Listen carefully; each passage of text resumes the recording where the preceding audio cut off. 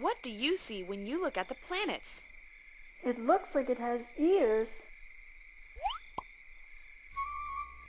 No, it's hula hooping. What are you guys looking at? Planets don't have ears, although that's what famous scientist Galileo thought. And they certainly don't hula hoop, but they do rotate and revolve around the sun. It's time to take a closer look at the planets.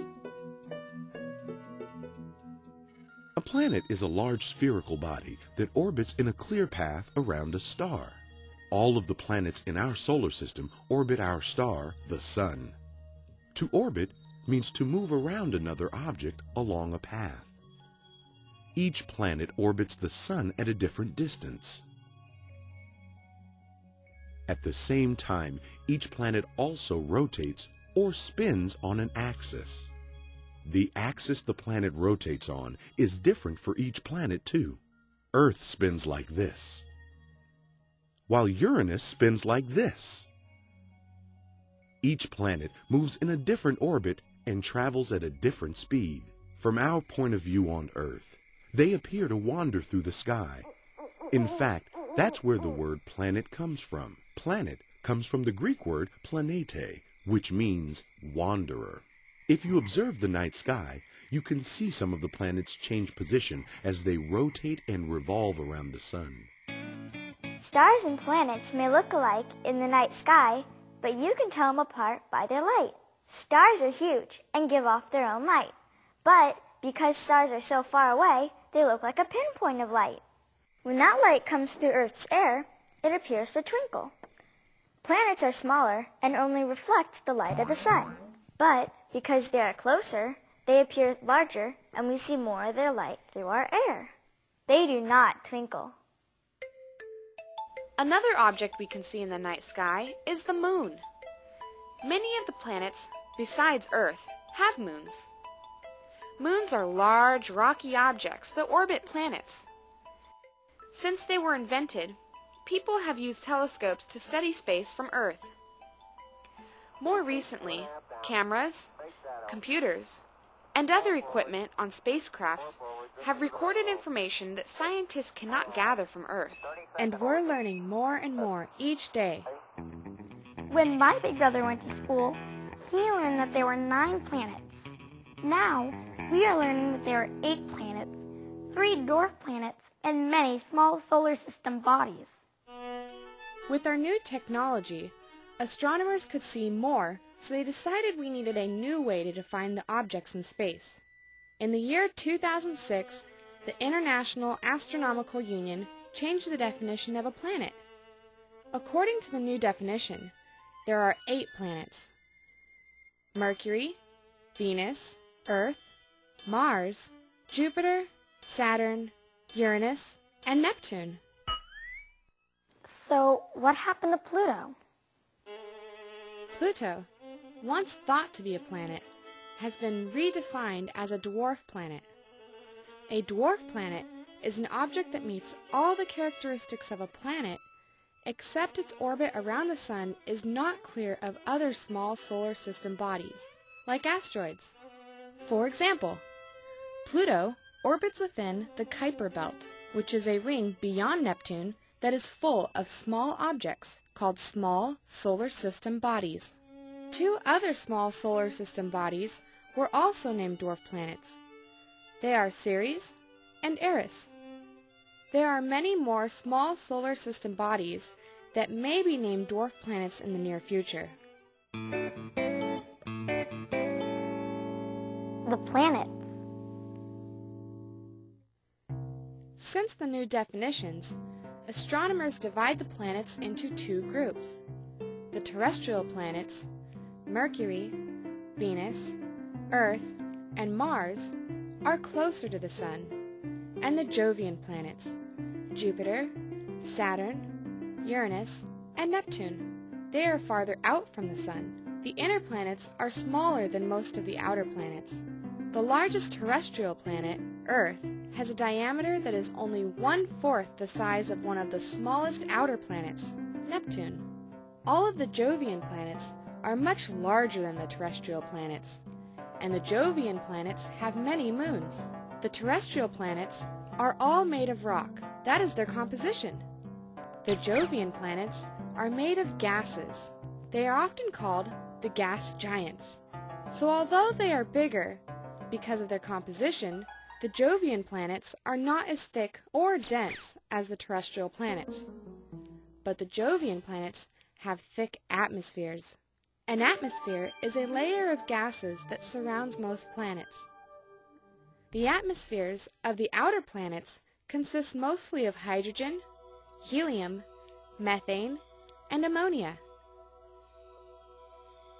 The terrestrial planets generally have less dense atmospheres than the Jovian planets do. Nitrogen and carbon dioxide are some of the gases in the atmospheres of the terrestrial planets. Also, because they are closer to the Sun, the terrestrial planets are warmer than the outer planets. And all of the Jovian planets have rings of dust and ice. Many of the planets were named by the ancient Romans. Most were named after their gods. Mercury, Venus, Mars, Jupiter, and Saturn. Uranus and Neptune were not named until the 19th century. The terrestrial planets.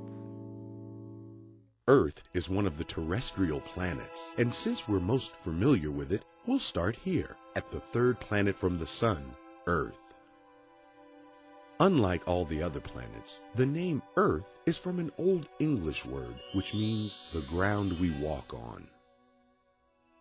At 12,750 kilometers, or 8,000 miles across, Earth is the largest of the inner planets. From space, Earth looks like a blue and white marble. The surface is mostly covered with water. Earth is different from the other terrestrial planets. In addition to its watery surface, Earth is the only planet with a lot of oxygen in its atmosphere. And Earth's atmosphere keeps it from getting too hot or too cold to support life. In fact, Earth is the only planet known to support life. There is one moon that orbits Earth. It takes 24 hours for Earth to rotate on its axis. 24 hours is one Earth day. And it takes 365 of those days for Earth to orbit the Sun. That is one Earth year. The closest planet to the Sun is Mercury. At 4,900 kilometers, or 3,000 miles across, Mercury is less than one-fourth the size of Earth. Mercury was the name of the winged messenger of the Roman gods. It's the perfect name for the fastest moving planet in the solar system. No one has visited Mercury, but space probes have been sent to study the planet. A space probe is a spacecraft designed to gather information.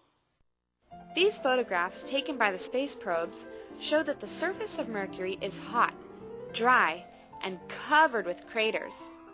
A crater is a large hole in the ground shaped like a bowl. On the side of Mercury facing the sun, it is extremely hot. In fact, the daytime temperature is hot enough to melt lead. It is very cold on the side facing away from the sun. Although it is freezing cold, Mercury has no water, so there is no ice like we have on Earth. Surrounding Mercury, there is very little atmosphere, and Mercury has no moons. The speedy planet Mercury travels around the Sun in just 88 Earth days, but because its rotation is so slow, its day equals two of its years. That means if I stayed up for one day on Mercury, I'd have to stay up for 176 Earth days. The second planet from the Sun is Venus. Venus was named for the Roman goddess of love. Like Earth, Venus is about 12,000 kilometers or 7,500 miles across. Pictures taken by spacecraft showed that Venus has a rocky surface with mountains, valleys, and craters. And while Venus has been called Earth's twin, the two planets are very different in many ways. The first way is the way the planet rotates. Venus rotates backwards from Earth and most of the other planets. Venus has no water and no moon, but it does have an atmosphere. Venus's atmosphere is made up mostly of carbon dioxide. This makes the air very thick. Carbon dioxide gas is very good at trapping heat. So good, in fact, that Venus is the hottest planet in the solar system. Clouds of sulfur and sulfuric acid swirl around Venus and block our view of the surface. But we have learned a lot about Venus's landforms and atmosphere from information collected by space probes. It's not likely that we will send astronauts because they would have to endure temperatures of nearly 900 degrees Fahrenheit. We've learned that the pressure from the atmosphere on Venus is 90 times the pressure on Earth. It would crush human beings. One day on Venus is equal to 243 Earth days. And it takes 225 Earth days to make one Venus year. Past our home in space, Earth, is the fourth planet from the Sun, Mars. At 6,800 kilometers, or 4,200 miles across, it is just over half the size of Earth. Mars was named for the Roman god of war. It is often called the red planet because its surface is a reddish color. Until now, most of our information about Mars came from unmanned spacecraft that the United States sent to Mars between 1964 and 1976. But in 2004, the Mars Exploration Rover mission landed on the surface of Mars. This is one of the newest views. The atmosphere on Mars is thin and made up mostly of carbon dioxide. Strong winds whip up huge dust storms that blow across Mars's rocky, desert-like surface. Mars has other landforms too, like valleys and volcanoes. In fact, Mars has the largest volcano in the solar system, Olympus Mons. Unlike Earth, Mars has two moons. But our days are similar in length. It takes 25 hours for Mars to make one complete rotation. The year is different from Earth, though. One year on Mars takes two of our Earth years. The Jovian planets.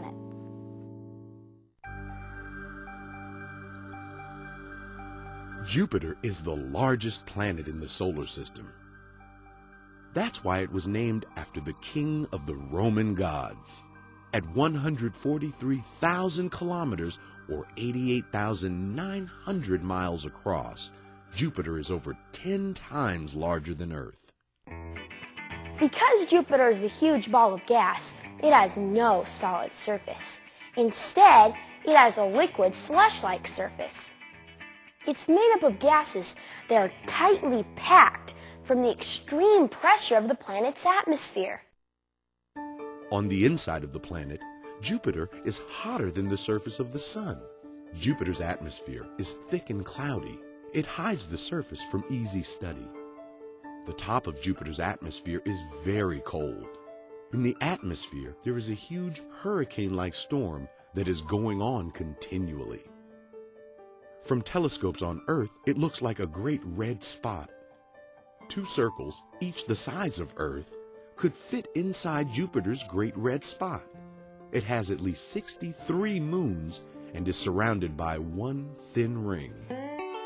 Without pictures taken by cameras on the spacecraft Voyager, scientists would not have known that Jupiter was surrounded by one very thin ring. On Jupiter, a day is shorter than on Earth. It takes only 10 Earth hours for this giant to rotate on its axis. But the year is comparatively longer than Earth's trip around the Sun. Earth will make the trip 12 times to Jupiter's one. Next out, Saturn. It is named after the Roman god of agriculture. Like Jupiter, Saturn is a giant ball of colored gas. At 120,000 kilometers, or 75,000 miles across, it's over nine times the size of Earth. It's a giant. Saturn's surface is made up of frozen gases. Its atmosphere is thick and very cold at the top. Saturn has at least 31 moons and a large system of rings that reaches 416,000 kilometers or 260,000 miles from its surface. From millions of miles away, Saturn's rings look like solid disks. But when a U.S. space probe got a closer look at them, they saw that Saturn's rings are actually made up of countless particles of ice, rock, and dust. The particles in Saturn's rings range in size from tiny specks to pieces the size of a large boulder. A day on Saturn is shorter than Earth, only 10 Earth hours. That's the same length as Jupiter's day.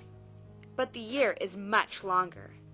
It takes 29 Earth years to make one Saturn year.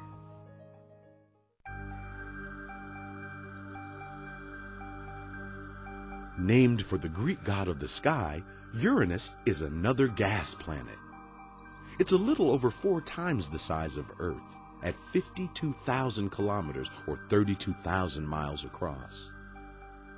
From space, Uranus looks blue-green in color. Uranus is different from the other planets because of its rotation. It seems to be lying on its side.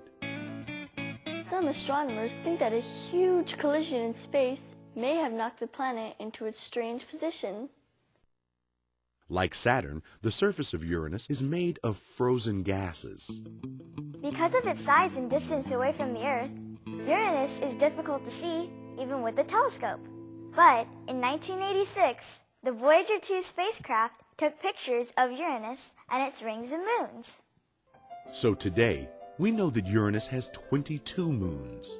It takes 17 Earth hours for Uranus to rotate on its axis and 84 Earth years for Uranus to orbit one time around the Sun.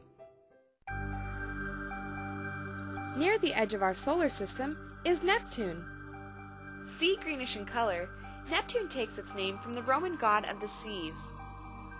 Like Uranus, this gas giant is about four times the size of Earth. It is 49,000 kilometers, or 30,400 miles across. Its surface is made of frozen gases. Neptune's atmosphere is similar to that of Uranus. The upper atmosphere is cold, and the center of the planet is very hot. Neptune does have rings, but they are very hard to see. And there are 12 moons that orbit around Neptune. Neptune was not even discovered until 1846. Still, we did not find out much about Neptune until the Voyager probes passed by it in the late 1980s. Then we had our first look at two of Neptune's moons, Triton and Nereid. The orbit of Triton is moving it closer and closer to Neptune's surface. It is believed that Neptune's gravity will break Triton apart in 100 million years. Neptune's day takes only 19 Earth hours. But at such a long distance from the Sun, it takes 165 Earth years for Neptune to orbit the Sun. Dwarf planet. The dwarf planet, Ceres, lies within the asteroid belt between Mars and Jupiter. Astronomers used to call Ceres an asteroid, but now, by the new definition of a planet, Ceres is a dwarf planet. With a diameter of 580 miles, Ceres is only one-fourth the size of our moon. That's about the size of Texas. A day on Ceres is only 9 Earth hours, but it orbits the Sun once every 4.6 Earth years. Below the surface, there may be liquid water. On the surface, it is warm, and there are indications of frost. It may have a very thin atmosphere. Photos show that Ceres has a large spot. Astronomers are not sure what causes the spot. It could be a crater from an asteroid impact, or it could be from a darker material in the planet's soil. NASA is hoping to launch a spacecraft soon to study Ceres. Beyond Neptune lies another dwarf planet, Pluto. Tiny, cold, and dark, Pluto was named after the Roman god of the underworld. At 2,300 kilometers, or 1,400 miles across, Pluto is smaller than Earth's moon. Little is known about Pluto because it is so very far away. Because it is so far from the sun, Pluto is a cold, dark world where the sun looks like a bright but distant star in the black sky. Pluto has a thin atmosphere, and its hard, icy surface is bitterly cold. Surface temperatures on Pluto dip down to about minus 360 degrees Fahrenheit. It takes six Earth days to make one day on Pluto. One year on Pluto is 248 Earth years. Pluto is usually farther away from the Sun than Neptune. However, every 248 years, the elliptical shape of Pluto's orbit takes it inside Neptune's for about 20 years. From January 23, 1979 until March 15, 1999, Pluto's orbit was inside Neptune's orbit. So, for 20 years, Neptune was farther away from the Sun. Pluto has three known moons, Charon, Nix, and Hydra. Some astronomers call Pluto and Charon a double planet. Instead of each object rotating on its own axis, they both rotate around a common point in space between the two objects. Recently, astronomers discovered something beyond Pluto and Charon. For three years, scientists argued whether or not this unnamed body was a planet. But in 2006, the IAU decided it was a dwarf planet and named it Eris after the Greek goddess of warfare and strife. Eris is slightly larger than Pluto, making it the largest known dwarf planet. It is very far from the Sun, about 10 billion miles. It takes Eris about 560 Earth years to orbit the Sun. Eris looks very similar to Pluto and is probably made up of ice and rock too. Because it is so far away from the sun, its atmosphere may be frozen solid. The temperature on Eris is extremely cold, between 360 and 405 degrees below zero Fahrenheit. Eris has one known moon, Dysnomia. Pluto and Eris belong to a new class of planet called a Pluton. The word Pluton comes from the name Pluto, the first Pluton to be discovered. A Pluton is a planet that has an orbit that takes longer than 200 years to complete. Plutons orbit beyond Neptune. Unlike the round orbits of planets, Plutons typically have very oblong orbits and are highly tilted. So what did you learn? By the most recent definitions, there are eight planets and three dwarf planets in our solar system. Astronomers usually divide the planets into two groups. The terrestrial planets, Mercury, Venus, Earth, and Mars, and the Jovian planets, Jupiter, Saturn, Uranus, and Neptune. The terrestrial planets are smaller than the Jovian planets. All of the Jovian planets are much larger than the terrestrial planets. The atmosphere on Jovian planets is more dense than the atmosphere on terrestrial planets. Also, because they're closer to the sun, the terrestrial planets are warmer than the Jovian planets. The three dwarf planets are Ceres, Pluto, and Eris. They are planets that do not have a clear path around the sun. Pluto and Eris are in a new class called Plutons. Their orbits take longer than 200 years to complete and are very oblong. The planets and dwarf planets move in two ways. They rotate on their axis, each at a different speed, and some in different directions. They also revolve around the sun in their own unique orbits. We have already learned a lot about the planets in our solar system, but there is still much to learn. With new advancements in technology and new definitions of objects in our universe, our understanding of the planets and our solar system is always changing. No hula hoops and no ears. just new discoveries about our neighbors in the night sky, the planets.